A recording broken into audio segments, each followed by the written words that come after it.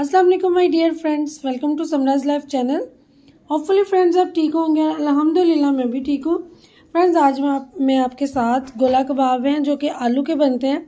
उसकी रेसिपी को शेयर करने जा रही हूँ।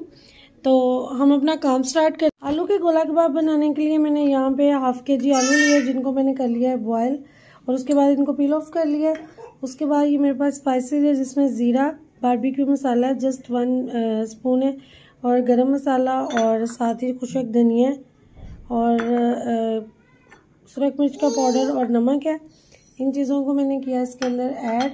उसके बाद ये मेरे पास टमाटर है। टमाटर मैंने एक मीडियम साइज़ का लिया था, उसके सीड्स मैंने निकाल के तो उसको कट कर लिया। उसके बाद मेरे पास प्याज है। प्याज को मैंने मीडियम साइज़ का प्याज कट है और उसको मैंने अच्छी तरह उसके अंदर जो एक्स्ट्रा पानी होता है वो मैंने निचोड़ लिया था। और ये तो मीडियम साइज़ की, छोटे साइज़ की सब्ज़ मिर्चें हैं जिनको मैंने कट कर लिया, उसके बाद ये धनिया तो अब मैं इन चीज़ों को करती हूँ अच्छे से मिक्स मैश करके मैंने सब चीज़ों को इसके अंदर अच्छे से मिक्स कर लिया है। अब मैं बाइंडिंग के लिए तीन अदद मेरे पास तीन चम्मच खाने वाले मैदे के हैं, अब मैं इसको करती हूँ इनके अंदर अच्छे से मिक्स यहाँ पे मैंने ऑयल लिया है। हाथों को ग्रीस कर लिया ऑयल से। और अब मैं मिक्सर लिया मैंने। ऐसे गोल बना के तो आपने एक पेंसिल लेनी है।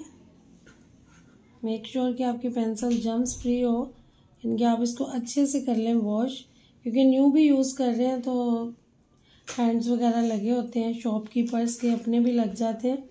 तो आपने इसको वॉश कर लेना अच्छे से और उसके बाद ऐसे गोला कबाब बनाने एक पैन में मैंने ऑयल डाल दिया गर्म होने के लिए और कबाब मेरे यहाँ पे रेडी हो चुके हैं। अब मैं वन बाय वन इनको डालती हूँ इसके अंदर। ऑयल अभी थोड़ा सा गर्म हुआ है, ज़्यादा गर्म नहीं हुआ तो मैं कबाब ऑयल के अंदर डाल के फ्लेम को करती हूँ हाई हाई नहीं मीडियम रखेंगे। तो जैसे ये फ्राई होते हैं तो मैं आपके साथ इसकी फ़ाइनल लुक शेयर करती हूँ।